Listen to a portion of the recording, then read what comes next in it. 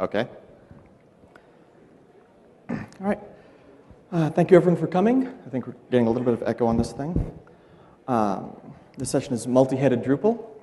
Uh, my name is Larry Garfield. You may know me as Crell online. I'm a senior architect at Palantir.net. We're a Drupal development shop based in Chicago in the United States. Um, I'm an advisor to the Drupal Association uh, for Drupal 8. I'm the Web Services and Context Core Initiative lead. I was the co-author of Drupal 7 module development from Packt Publishing. Who here is actually also does programming? Okay. Wow. This is a site building track, right? Okay, just making sure. Um, and I talk about software architecture a lot and uh, shoot my colleagues with Nerf guns. That's pretty much all you need to know about me. At Palantir, uh, we work, work mostly with institutional not-for-profits. So universities, museums, newspapers. Um, newspapers are not-for-profits these days, right? Okay. A couple of people in here who used to work for a newspaper. Um, so sites like uh, the Journal of Foreign Affairs, uh, Field Museum of Natural History in Chicago it's one of ours, one of the largest uh, natural history museums in the world. OpenSource.com, uh, run by Red Hat. Uh, we helped build that along with Acquia uh, marketplace.org, um, which is a major public radio station in the United States. And a lot of the institutions we work with run into a common problem where they want lots and lots of Drupal sites, but they don't want lots and lots of Drupal sites.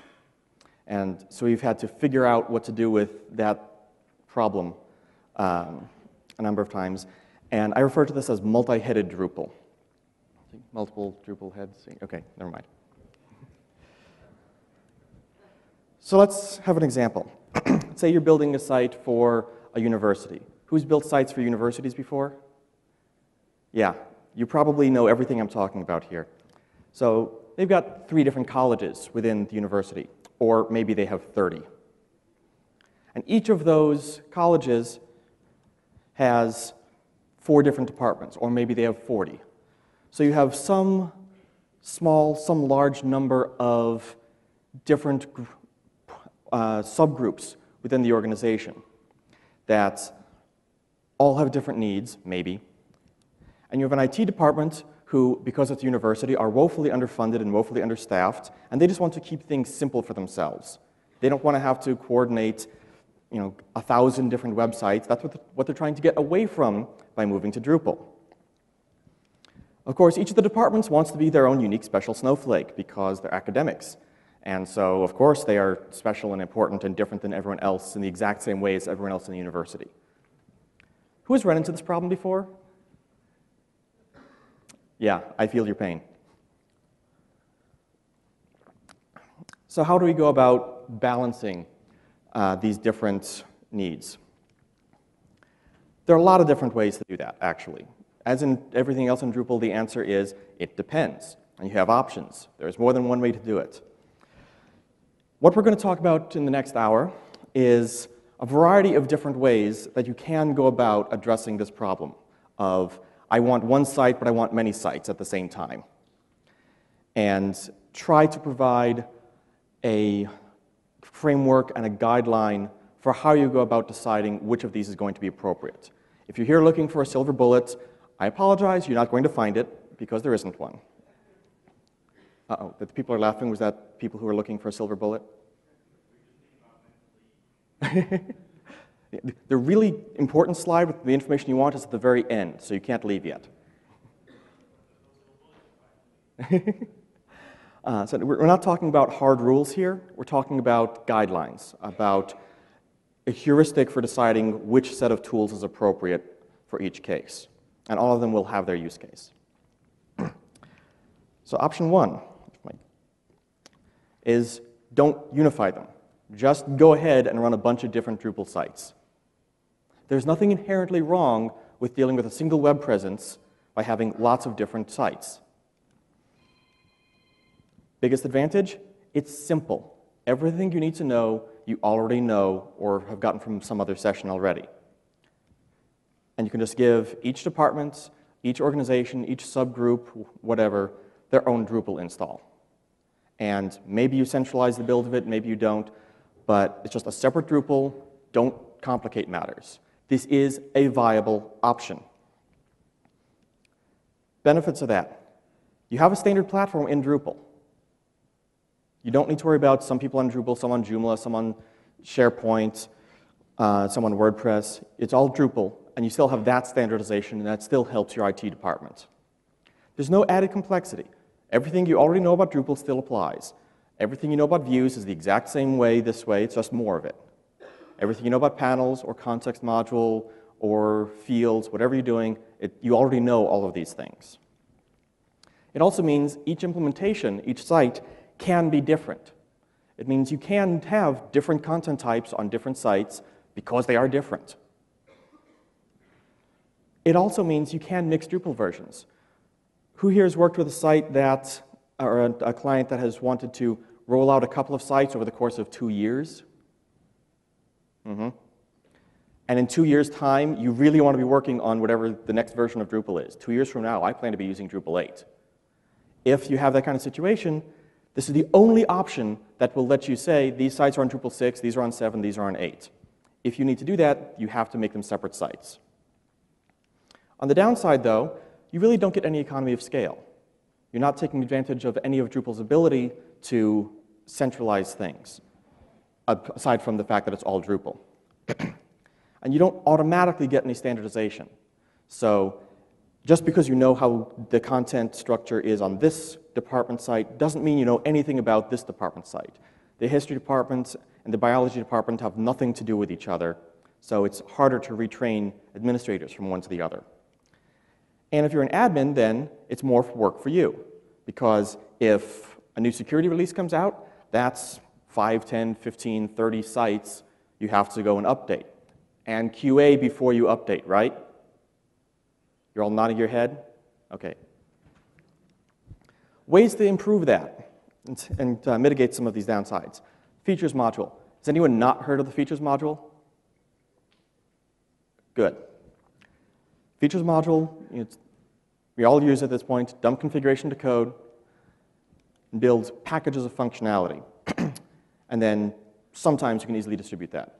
We've done this for a client where um, we rolled out a multi-site for them at one point, really early on, and then they wanted to add some functionality to all of their sites. So he said, okay, built a new feature module for them, emailed it to them, and they just dumped it on each one of their sites and enabled it good to go. And had a content type or two, a couple of views, uh, some new module dependencies. It worked great. Install profiles. If you're rolling out a lot of similar sites, these are really helpful. Install profiles have been around since Drupal 5, thereabouts. Um, and as of Drupal 7, they are almost modules unto themselves. There's a few differences, but for the most part, you can treat them as if they were a complete module, which means you can do anything you can do in a module with an install profile. They can implement hooks. They can especially implement alter hooks. At Palantir, uh, we have a small install profile that we use that doesn't do a great deal, except it form alters out the promote to front page and sticky flags on all node forms. Because really, who uses those anymore now that we've got the flag module that isn't limited to just administrators? So you can do that kind of stuff in an install profile. You also get, however, a complete install wizard. These can be really simple or really, really complex.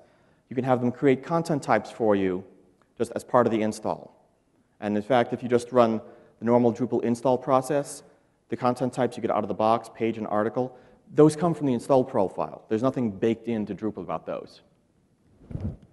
You can create default content if you want. So if you want to pre-populate some sample content, uh, if you want to pre-populate you know, every department is going to have an about page that works almost exactly the same. Go ahead and throw that in there. Makes life easier. You can set up user roles if you want to, and users. So you, know, um, you have five administrators who are part of every site. Go ahead and set up that user just as part of the install. Anything that's a, a variable in the configuration, where you get the system settings form, you can set those. Pretty much anything in Drupal that has a, a solid API which is unfortunately not everything, but it's most things, you can pre-configure in an install profile. These can be really, really simple, or really, really complicated. And when you combine an install profile, especially the more advanced ones, with features, you get distributions. This is probably where you want to go if you're rolling out a bunch of similar sites internally in your organization. A distribution is a web application that happens to have been built with Drupal. That's pretty much what it comes down to. Uh, one of the earliest was Open Atrium. Have people heard of this before? Open Atrium? Mm -hmm. It's a project management tool built on Drupal 6 that doesn't look a great deal like Drupal. Managing News, another early distribution. Uh, it's good for uh, content aggregation and stuff, for building news sites. Drupal Commons is an intranet in a box uh, from Acquia. Uh, more recently, things like Open Scholar are aimed at academia for an academic department. So if you just want to roll out a bunch of different academic department sites, just install this and be done with it. It covers a lot of what you need. Um, who actually has seen the DrupalCon website? Why did it take so long for you to raise your hands? I hope you've all have seen that. That's running a distribution called COD, Conference Organizing Distribution uh, which is used by, at this point, all DrupalCon sites and most Drupal campsites. It's a distribution that out of the box offers session management, it offers uh, tracks, it offers voting on sessions, all of that kind of fun stuff just right there for you. Uh, Open Academy is a fairly recent one. Similar to Open Scholar in that it's targeted at academia, but it's built with panels top to bottom. It's kind of cool. Have a look at it. And you can build your own. These are not difficult things to build. It's just an install profile and a couple of features modules. It can be as simple or as complicated as you want. And there's 200 some odd listed on Drupal.org. Uh, if you want, these slides will be online. You can follow these links, or just go to Drupal.org uh, slash project slash distributions. And you know, see if any of these Drupal in a box solve your problem, or are close enough to solving your problem. Good example here, the Field Museum I mentioned earlier, we built a microsite system for them. They wanted to spin up a brand new website for each one of their exhibitions they had. And the horse was their first exhibition. And we just built an install profile for them that covered 80% of what they wanted for any given exhibition. Base theme, some basic content types, media module came pre-configured, WYSIWYG already set up, don't, don't need to download anything extra. All of their text formats are configured with the right uh, tags they wanted to allow, the custom user roles they had, just all of it done out of the box. And they can then build a new exhibition site in an afternoon. Building a Drupal site in an afternoon is pretty cool. Okay, they all look alike. They wanted them to all look alike. Very often, that's fine. Another option, though, if you want to get some uh, efficiency, is multi-site. In this case, you've got a single Drupal code base, but split configuration, split database, separate content, separate users. This has been a feature since at least Drupal 4.5. I came into Drupal in 4.6, and people I've talked to have said, well, it's been around at least since 4.5. It may have been older than that. I'm not entirely sure. Basic idea, you have a single Drupal code base, but you run many sites off of it. Who's done this before? Wow. So you all know everything I'm talking about. Why are you even here? I'll just go home. This lets you run sites that are, for all intents and purposes, separate websites, but with a single code base. And you know, it's fairly simple to set up. You say, okay, off your Drupal root directory, you have a sites directory. We all know this. And there's the sites default directory. Wonder why that's there settings PHP is the configuration for that site. But if you set up a different directory that matches the domain name that gets requested, then it uses that instead, you get a different settings file. That different settings file points to a different database. You have a completely different site. and you can have as many of these as you want. They don't have to all be on the same main domain uh, if you don't want them to be. as of Drupal 7, you can now alias them too. So I, I think this is the only PHP code in this session, so you know, don't be scared. um, so you can say, you know, if a request comes in for this domain, use this directory name under sites. Request comes in for this domain, use this one, and so forth. And you can actually have multiple domains that point to the same directory. And then you set up your DNS records to say, all of these 12 domains point to the same place on disk, the same uh, virtual hosts in Apache. And this is really helpful for development. I've got my development server, I've got five other people working on, their, on the site on their own uh, directories, but we don't want to have to change the site uh, directory structure all the time. So we just say, okay, Larry's sandbox maps to dev, Bob's sandbox maps to dev, Jill's sandbox maps to dev, and so forth. And then the domain part still works, but all of these aliases do as well. You technically can also use subdirectories in here and different port numbers, but honestly, in my experience, subdirectories are just way too hard to set up and they're kind of buggy, so don't bother. Assume that you can only do, do uh, domains. It's just going to be easier. Trade-offs here. Everything I said about separate sites is true here. You get all the same benefits in terms of independence, except you only have one code base to update, which means you only have one Git repository because you are using version control for your site, right? I, I hear a couple of nervous laughs. So when you start using version control for your site, you only need one repository. Um, another important one that is often overlooked is the lower memory overhead. Um, who here is running APC or an opcode cache on their sites? Good. If you're running Drupal, you want to be doing that. An opcode cache, like APC, caches the compiled version of all of the code files, which is a huge memory, uh, a huge performance improvement. It caches it per file name. So if you have 30 Drupal sites installed separately on the same server, then you have 30 copies of common.inc that are cached in memory. If you have 30 sites installed on the same install with multi-site, you have one copy of common.inc cached in memory. And you use 1 30th as much memory on your server.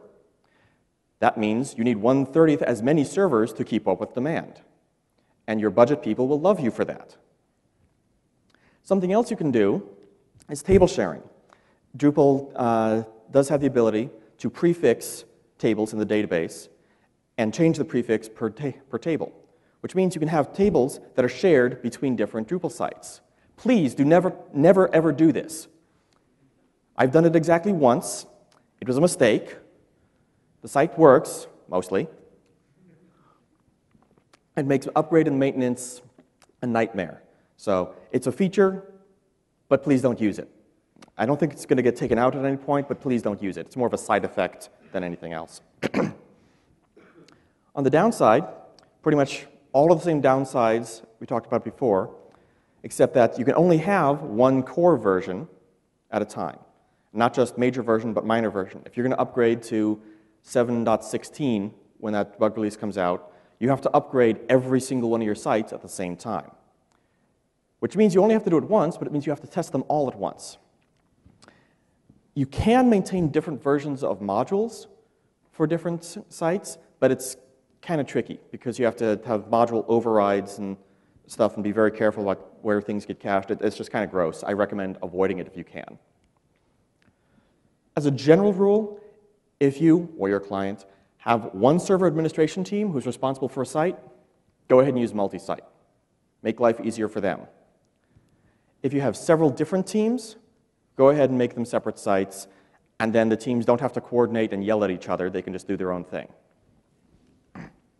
Good example here. This is a very old site that we built back in the early Drupal 6 days, back before there was a features module, which means we built it using a partial database dump to set up a new site rather than an install profile. I would recommend the install, install profile and features approach even for multi-site these days. Uh, gave them four base themes to choose from for each site, uh, for each academic department. And the process for setting up a new site was dead simple. Clone the database, flush the cache, set up settings PHP, and start pushing buttons.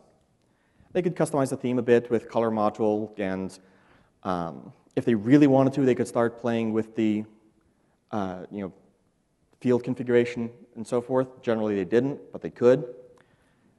But then they still only have one copy of the site on disk. Worked out. But honestly, when a client says that they want multiple websites, they probably don't mean it. Not because clients are stupid, but because clients don't understand the trade-offs in Drupal. That's your job. A couple of options here. If you want to have a single Drupal site, uh, domain access being the first one. Most of the clients we deal with who say they want multiple sites, this is actually what they want. With domain access, you have a single code base, a single database, single set of configuration, but you can split your content up between different domains or not, and then your user base is shared across all of the different sites. uh, domain access is an access control module. It uses the node access system. But instead of doing access control based on does this user have this permission, does this user you know, have the right role, it does access control to nodes based on the domain that was used to access the site. That's a really weird hack of the node access system, but it works very, very well. Um, I will warn you, it does use the node grants system, so be careful. If you try to use multiple node access modules, weird things happen. If you want to know how to deal with those weird things, that's an entirely separate session unto its own. But it can still work really well. Each domain then is that subsection of your site, not necessarily a, a different subdomain. You can run any arbitrary domain as part of a domain access setup. The one caveat for that is if you have you know, one.drupal.edu and two.drupal.edu, then you can log into one and still be logged in on the other. If you have Drupal.edu and uh, Joomla.edu, then the browser won't let you share a session across. That's just the way HTTP works. Domain access primarily affects node view. It restricts when a node will be available and viewable. and there's actually a fairly decent suite of modules built up around it. The main module is just called domain, but there's a, a couple of modules in that repository as well as a number of other modules maintained by other people uh, built up around it. So quick, very quick walkthrough with domain access. You can set up different domains. You give them names in the UI, set up which one is going to be the default, uh, which ones are active. This is one Drupal install, remember. Only one copy of the database, one copy of files on disk. Um, different domains can be set for HTTP or HTTPS if you want to, so you can have an administrative-only domain. Can, this is one of the really cool things with domain access. You can actually override most variable settings per site, per domain. So you want a different site name for English department, German department, history department, biology department? Go ahead. You want to change the site slogan? Fine. Different homepage? Fine. and you know, most configuration you can override this way, including the theme. It's very, very easy to have a different theme per domain. Now, you probably want those themes to be subthemes of each other. Fine, whatever. That doesn't matter as far as domain access is concerned. You can colorize it uh, per, because the colors are a setting, you can, I believe, colorize that per uh, site. So they use the same theme for different domains, but with a different color scheme. You can even set different time zones. This is really useful when you're working on, say, syndicated magazine, and you have uh, some magazines in one time zone and some magazines in another time zone. It's really important to show that kind of information in the correct time zone. People get very cranky if their newspaper has the wrong time zone. Then you go and edit a node, you get this additional option. Say, okay, which domains should this node belong to? Which domains should return an access true for this node and which should return access false. And then when you save it, it says, all right, it's assigned to this domain. Um, this is the source domain. That's the official domain. So because you with this you have content showing up on multiple sites, you want to make sure that Google doesn't hate you and think you're a spammer. So this just sets up a rel canonical in the header to say, no, Google, really, this, the real version of this page is here. I know it's duplicate content. Don't hate me. Uh, you can also then take all of the same information and apply it in views. So you can have views that only appear on certain domains. You can have views that filter by domain. So any of your domains slash upcoming events.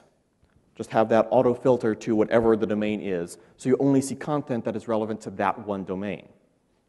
Really cool.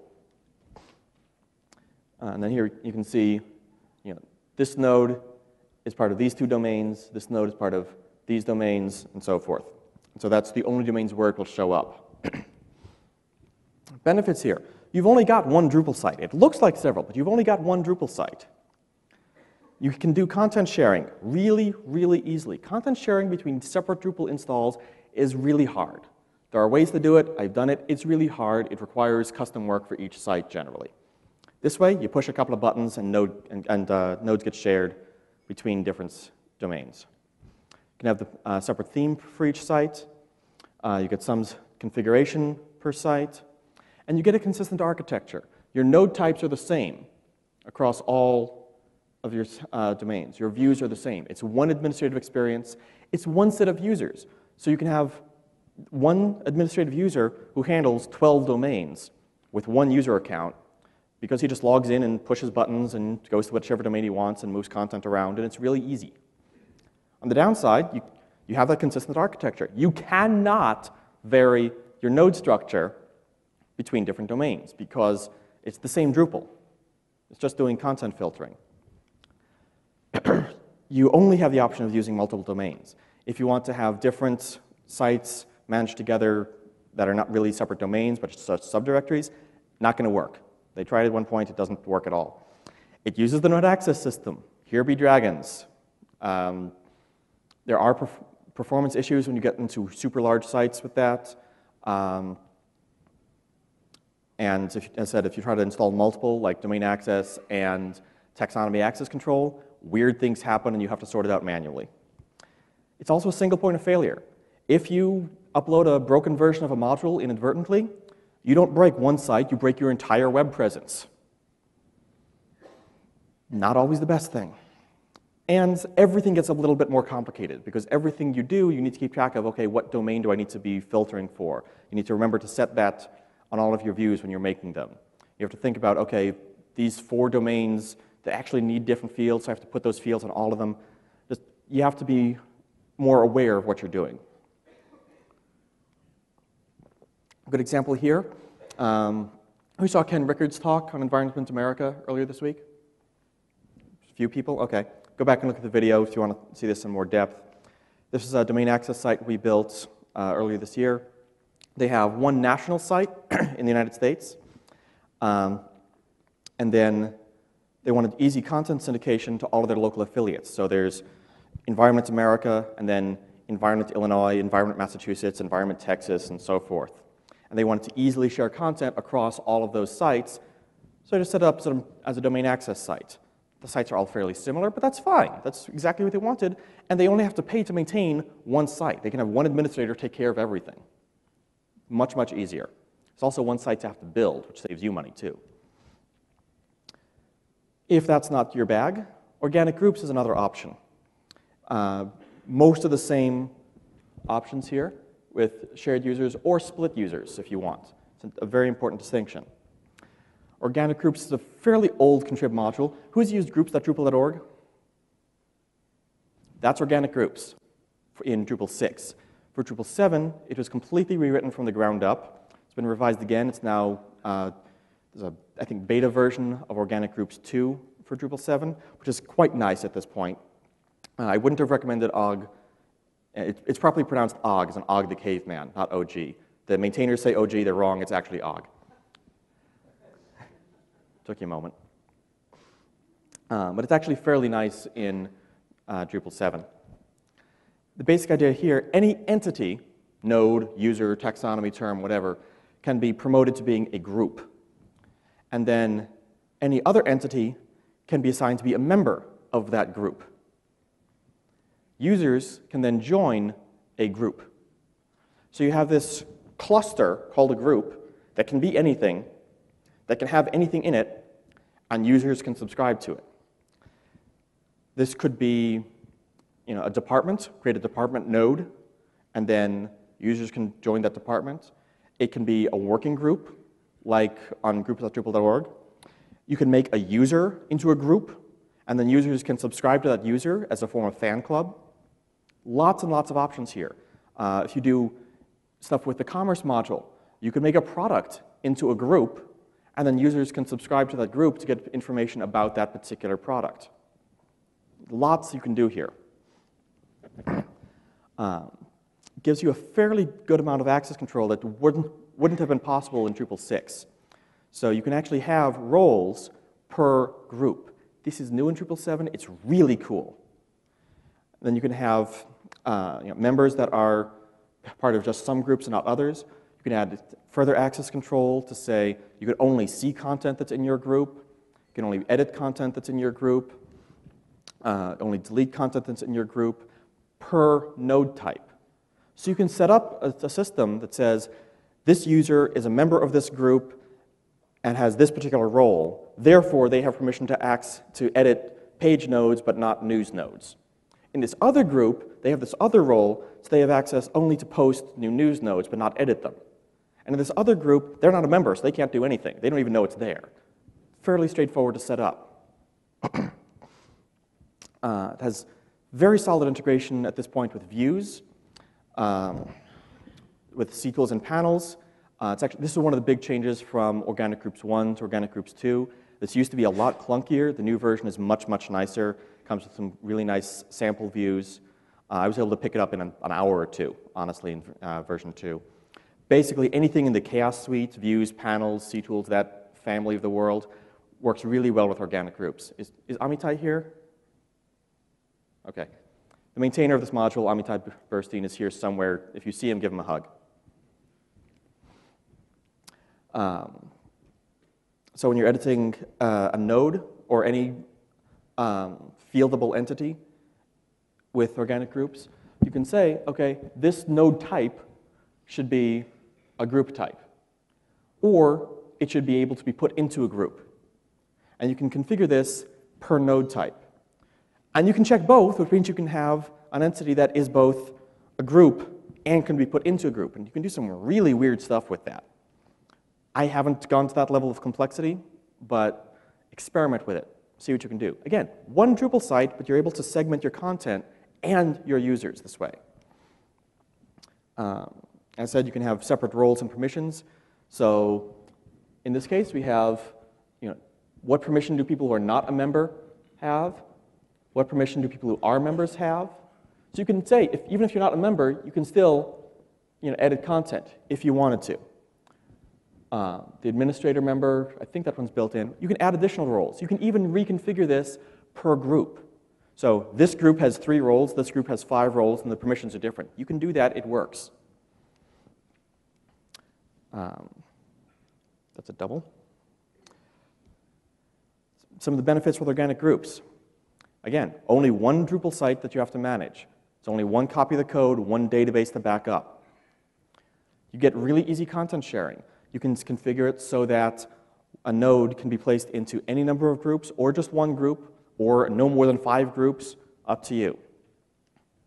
You can have a separate theme per group with the uh, OG theme add-on module, it's a separate contrib. Um, you only have one domain that you have to deal with. Could be a good, could be a bad, depends on your use case, but everything is on a single domain. There is an add-on module that's sort of works to move, push it across multiple domains, but uh, I haven't really played with it a great deal. I don't know how well it works. What's that? Okay. And again, a consistent architecture. All of your node types are the same, your administrative users are the same, your views are the same. It's much easier to manage than having a bunch of different sites they have to go to. On the downside, everything we just said. Only one domain, uh, you, can't really push it across multiple domains well. Uh, you have that consistent architecture that you cannot really change. Um, it, you do not have the ability to break out settings per group the way you do with domain access.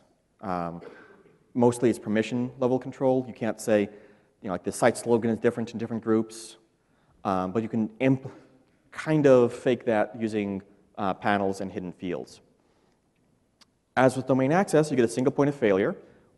Break one module, break the entire web presence. And you have to keep track of that everywhere. Uh, biggest thing here, if you're doing anything with panels or with views, you probably need to make sure to include a group context or a group contextual filter everywhere. Forget it, and you're going to find stuff showing up that you don't expect to. uh, example here, can't tell you who this is. We're working on this client right now, so I'm not allowed to talk about them by name until after it launches. But uh, every college and every department is a group. So we have a group node type that we can assign content into. um, we have a bunch of hidden fields on that group node for things like the uh, department name, the department slogan, um, an entity reference, to a slideshow node to uh, control the slideshow that appears at the top of the page. That way, every department gets their own slideshow that they can configure. Uh, we're building the site with panels everywhere, so we can use panels capabilities to pull contextual information from that group out into uh, the header and out into the footer, which on this site was a requirement. Uh, we're using Panelizer uh, on this one, so they can customize per, uh, per page what the layout is, still context sensitive to the group. Um, we're probably going to have a consistent set of roles between different departments, but we are adding custom roles to help support their editorial workflow. Uh, it's going to be multiple themes that they define, uh, and each department can then pick their own with the OG theme module just by editing the group node.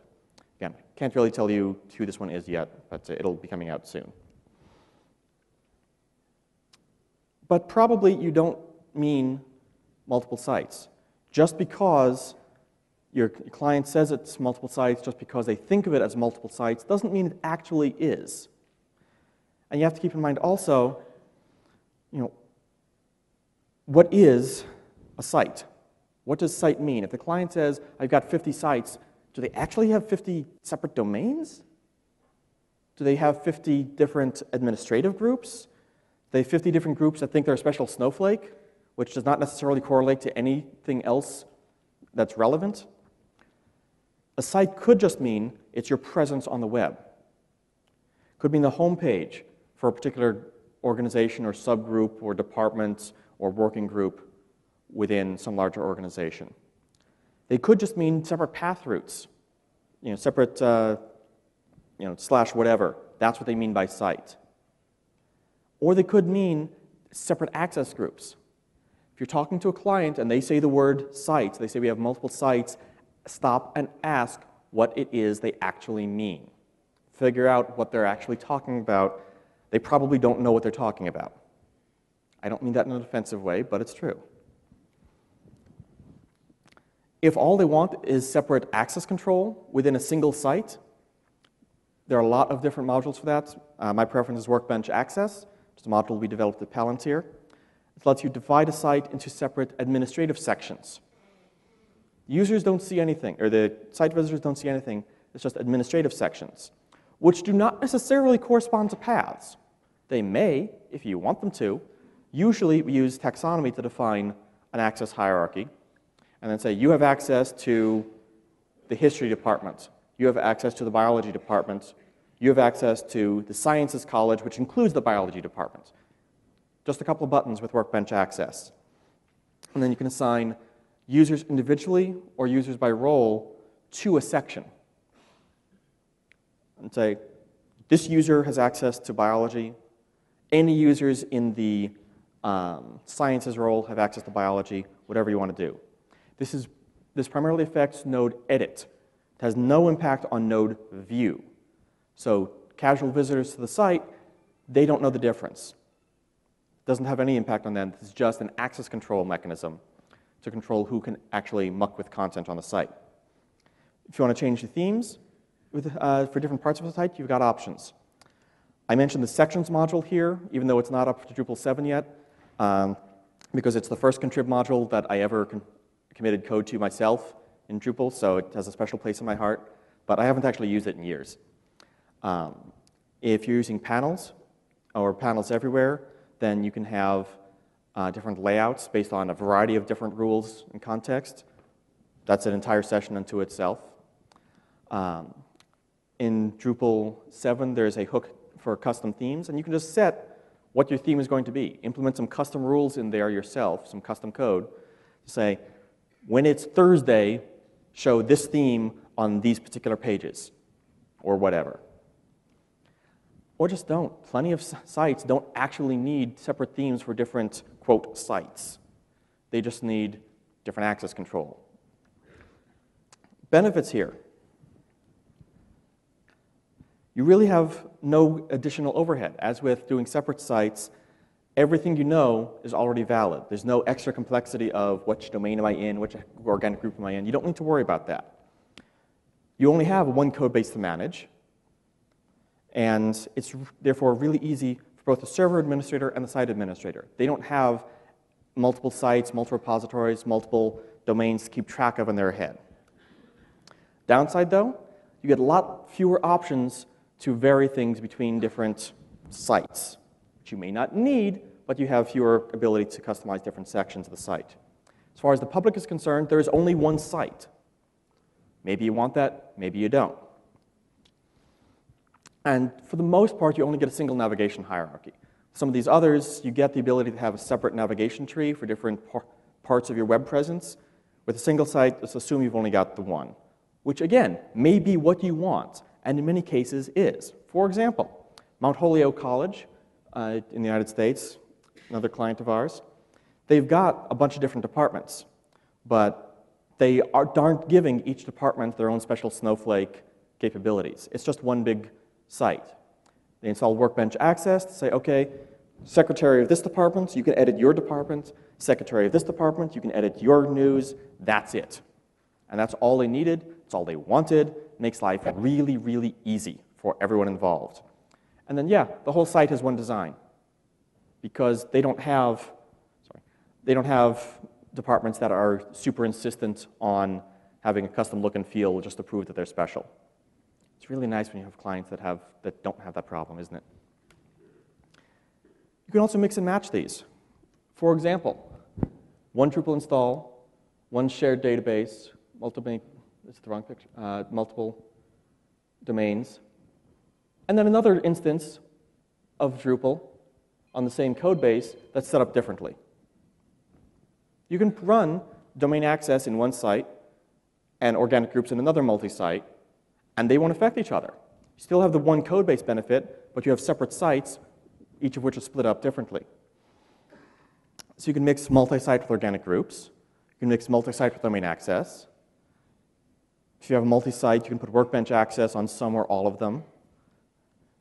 We haven't, you know, you can in fact mix multi-site, domain access, and organic groups and have domain access and organic groups on the same site on one instance on a multi-site and something else on another instance, you can get really complicated here if you want to.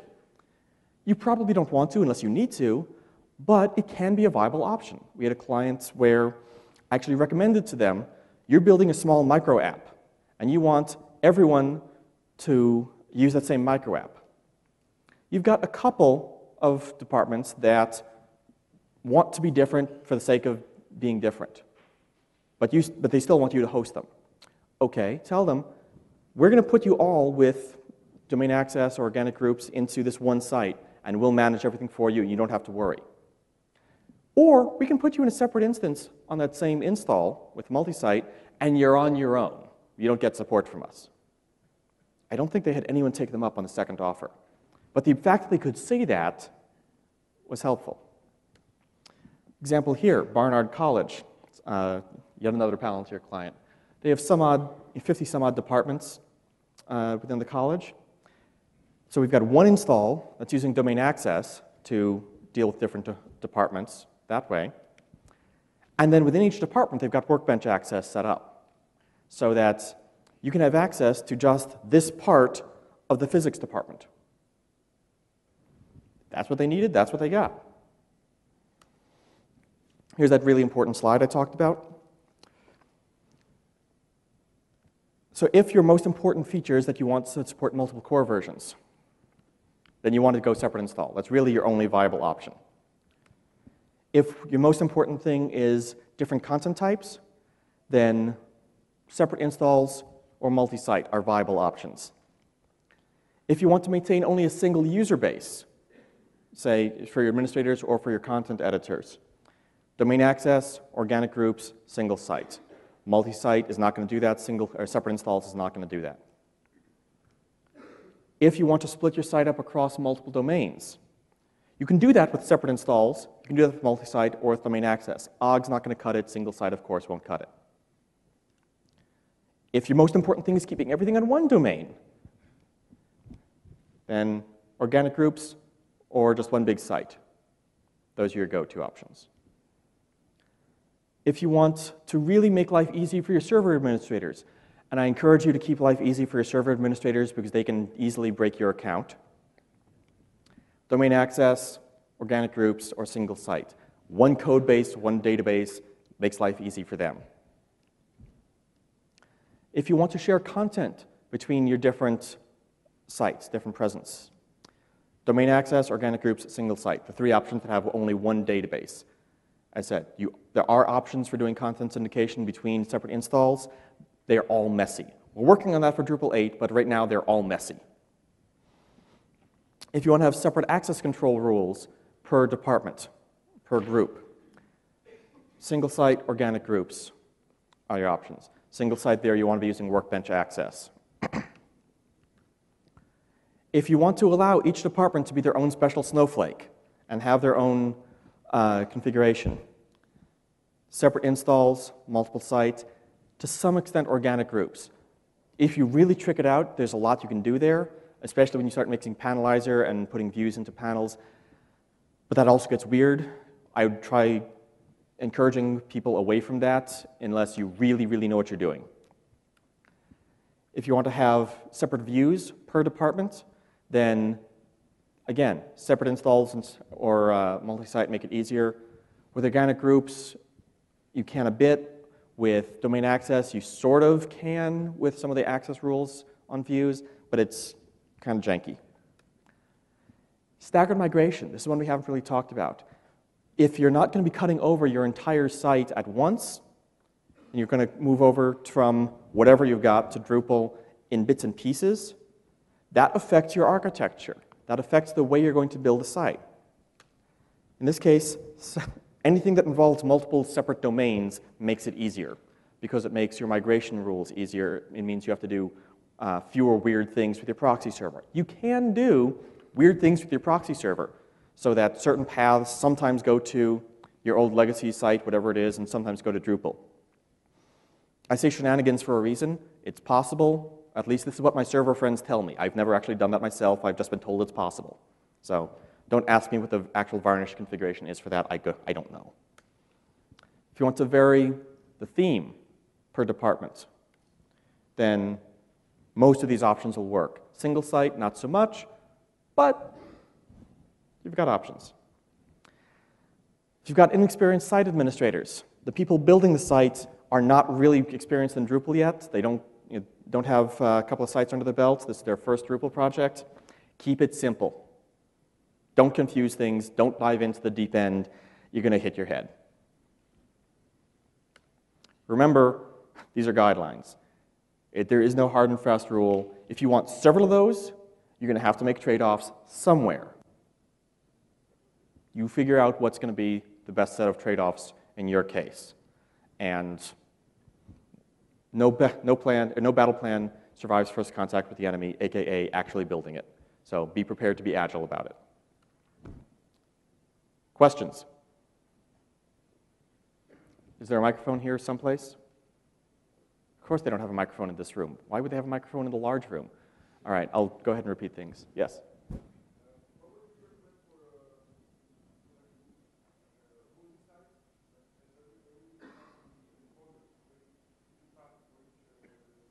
Can speak up multi-site.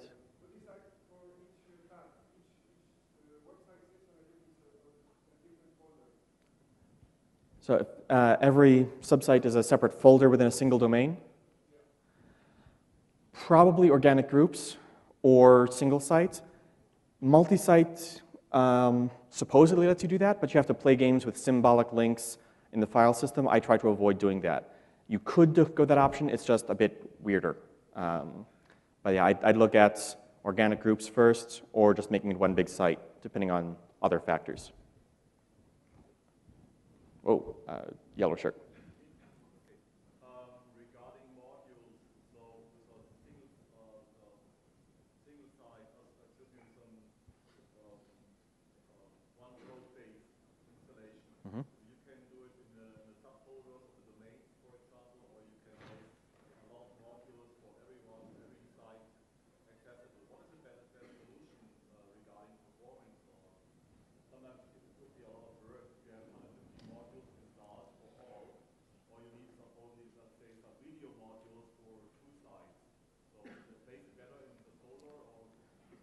So the question is, better, best way to organize modules when you're doing multi-site? I would recommend just putting everything in sites all, unless you know it's specific to a single site, because, because of that APC issue I mentioned. Um, if two or three sites are using it out of 50, then that's still two or three sites that would have duplicate copies of the code stored in memory at all times um, that way. Just because a module is in sites all doesn't mean you have to enable it with multi-site. So you can have you know, a module that's in sites all and is enabled on exactly one site. The only place any other site would know about it is in their admin modules page. They look in there, they'll see these other modules available, but if you don't give someone access to that page, they can't do anything about it. They don't even know it's there. So I would recommend just keeping a single copy whenever possible.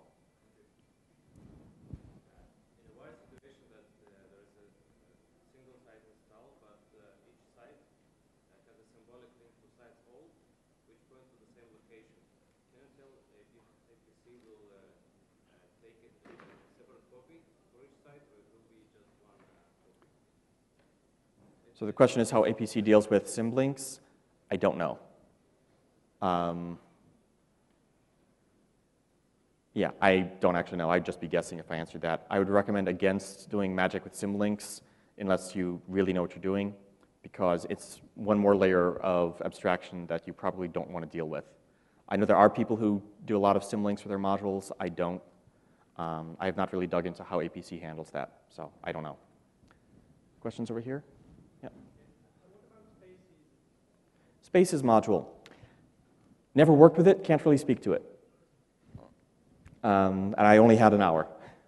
So, yeah, I have not really worked with that module. Um, I didn't, from what little I've seen of it, I didn't really care for its approach, but as I said, I have not actually tried building a site with it, so I can't speak to its trade offs.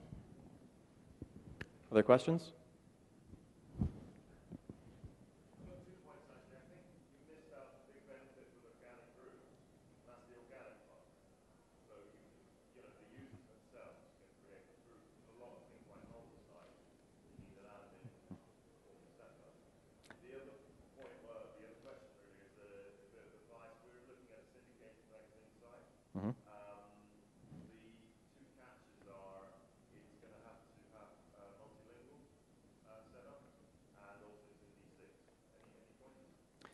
So again, for the recording, first point, organic groups does let you configure sites such that individual users or some subset of users can spin up new groups at any time, um, which you can't do with domain access, you can't do with multi-site. That's absolutely true.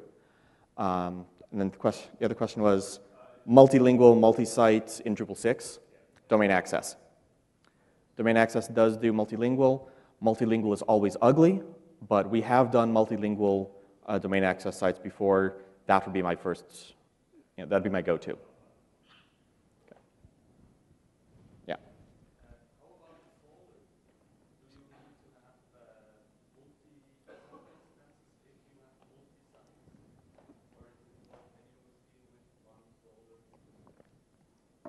So with Solr Search, um, you can either set up a separate Solr instance for each instance, if it, you can set up one Solr search per install, excuse me, per instance. Let me make sure I get my terminology right. Per instance. So each database that you have uh, can have a separate Solr server, which means if you're using single site or organic groups or domain access, you have one Solr server. You can't have multiple. If you're doing separate sites or multi-sites, you can set up a separate Solr server per site, or one Solr server and use the Solr multi-site module, which lets you index multiple sites to a single uh, Solr core, and then search from any of them, filtered or not, and then links point to the right place. That's actually what Drupal.org uses. So Drupal.org, groups.drupal.org, association.drupal.org, and so forth are all separate uh, installs, but they all use a single Solr instance. So they're all indexing to the same Solr core. You can set that up. Um, I don't think I've worked with Solr multi-core myself, but it's not overly difficult from what I understand.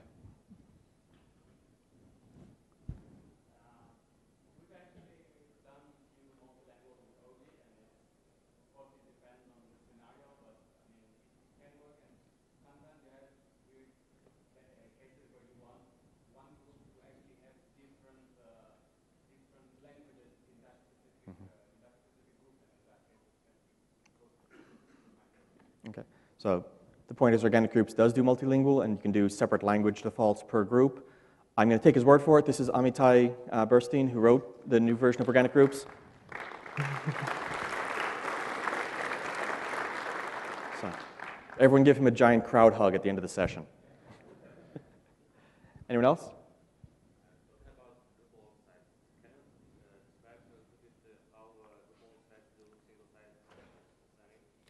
Single sign-on on Drupal.org. Oh dear. Single sign-on is, again, a session unto its own. Um, in general, anything with a single database, you get single sign-on for free. Anything that's multiple separate instances, it gets weird. For Drupal.org in particular, um, they developed a custom module called Bakery that I have not looked at the code base in a great deal. I know it consists primarily of uh, cooking jokes.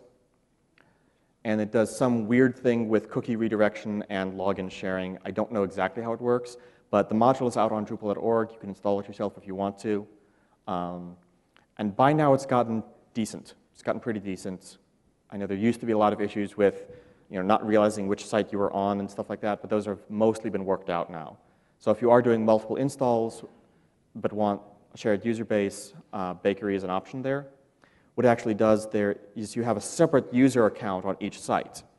But when you log into site A, it does some magic with HTTP so that you're logged in uh, to site B with the same account, or with your ma matched account over there. Um, like when you log in, when you visit Drupal.org, that's one user on one database. You visit munich2012.drupal.org, that's a different user in a different database with different permissions on that site, but it does weird things with cookies so that you log in on one site, you get logged in on the other. I don't know the exact details of how it works, but the module's on Drupal.org, you can have a look. Yeah.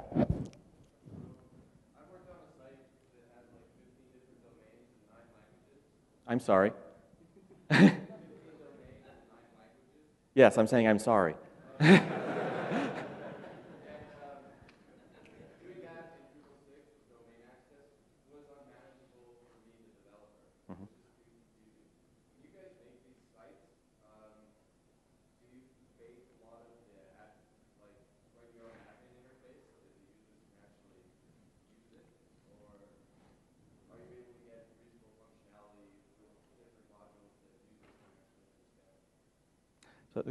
question again for the recording is, when you've got 15 sites in nine languages on a single install, the admin can get unwieldy, and what do you do about that?